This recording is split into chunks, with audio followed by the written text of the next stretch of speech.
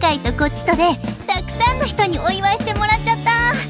最高の誕生日だよ。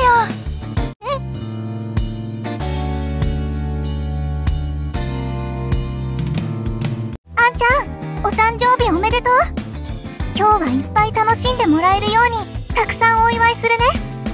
誕生日おめでとうさ。んまあ仲間として頼りにしてる。これからもよろしくな。白石。司先輩と上白先輩が即興でショーをしようと準備してくれているぞ。よかったな。白石さん誕生日おめでとう。知り合ったばかりだけど参加できてよかった。また話したいな。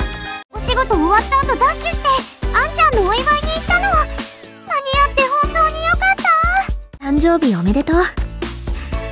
アンみたいな親友に出会えてよかったな。これからもよろしく久しぶりにゆっくり話せて楽しかったわ。誕生日本当におめでとう。あんちゃんのお誕生日を小羽ちゃんたちとお祝いしたの。賑やかで楽しかったわ。白石今日は本当におめでとう。今から即興ショーをして。ん？恥ずかしいから。やめて。サプライズだからってあんな登場の仕方。あの白石さん忘れてくれていいからね。